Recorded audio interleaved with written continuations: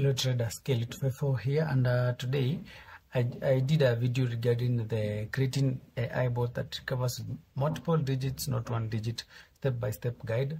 And um, on regarding that bot uh, I was requested to in the over under AI bot can you please show such that it can ask for an entry point on the screen asking you to input the trading digit. And that's what I'm going to do today I'm going to show you how to add the entry point on the AI bot whereby it will be prompting you on the screen to enter the entry point that whenever the last digit is, the, is your entry point then the bot will automatically start uh, running. Now let's get to, to our bot already I've loaded this bot I'm not going to reset this uh, to the initial one because I don't want to go all the way uh, repeating creating the AI bot again. If you want to to be at this point, then watch this video until the end. Then you'll you'll have this setup as it is. Um, now I want to add to add the AI to add the AI on our to add the entry point on our AI bot. Let's get started. So we need uh, to create a variable by the name entry point entry point like this. Then uh, upon creating we need to set set the entry point to. We need it to prompt us. So we need uh, to input. You can just search input right over here input and it's supposed to to bring in this prompt for number with then text enter your entry point point. Just by doing this once we hit run you will see it's supposed to prompt us. As you can see enter your entry point. But for now we have not uh, told the bot that is supposed to use this entry point. If, even if we do when uh, key in assuming we key in digit 5 it will immediately start uh, purchasing contracts of which that is not what we want. Now having achieved that? We need now the bot to run until it gets the the entry point. Um, let's start. There are two cases whereby um, the bot can be waiting each and every time for the for the last digit to be to be your entry point. And there is the entry point whereby it will just initialize the bot to start running. Once the bot starts running now it will continuously purchase contracts without waiting for the next uh, for before it uh, it purchases the second contract before uh, checking the the entry point. Like the second contract will just purchase without waiting for the entry point. There are two cases. For these i'll show both the two cases. Now let's get started.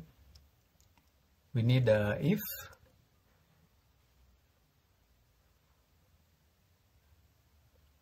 we do not need if we need, we need uh, loops then uh, repeat. Also need run after.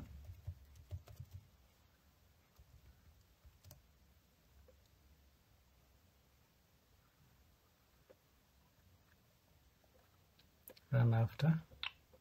We need math right over here. Run after I'll put zero seconds. Math I want also infinity so that it will run to infinity until the conditions are met. Infinity like that. We also need a text so that we need we need to get to know our last our last digit in the market. We can choose either to just use a notification alone that will initialize it. This notification here like um, notify green and uh, last digit. Analysis. Tick. Last digit. And mind you there is always a difference between the last digit and the last tick. So like that. And we need logic. If need logic again to compare. Compare need variables. If entry point is equals to the last digit break out we need to break out of a small loop.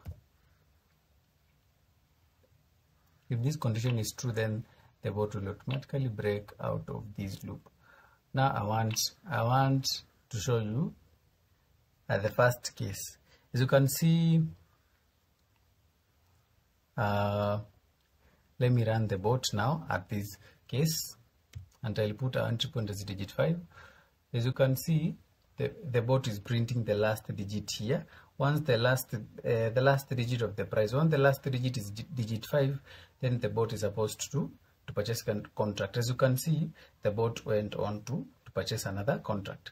And on the first contract ending it went on to look for another to wait until the last digit is digit 5 to purchase the other contract. I don't know if now you are you are getting what i was trying to say.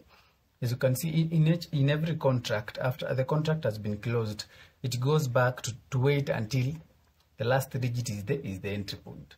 Now let me show you the other one. Uh, we'll just add on another thing right over here. We just call it uh, call it entry point uh, let's call it just loop like that. Then set set loop to need true or false.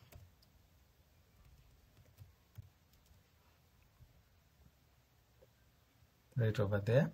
Set it to true. Just need this block right over here. If loop is equals to true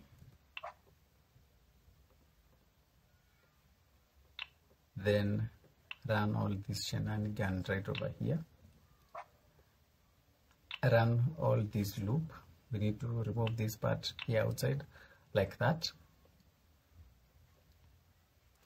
And uh, now we duplicate this loop and we bring it right over this point and we set it to false.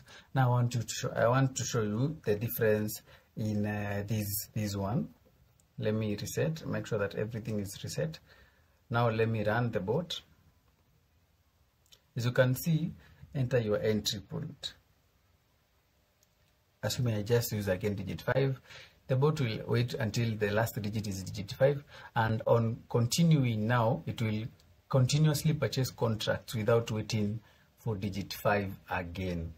I don't know if you have gotten the difference. The first one, in, ev in every contract, it was waiting for for entry point. But for this one, it's just the first contract for a bot to start running that is waiting for the entry point.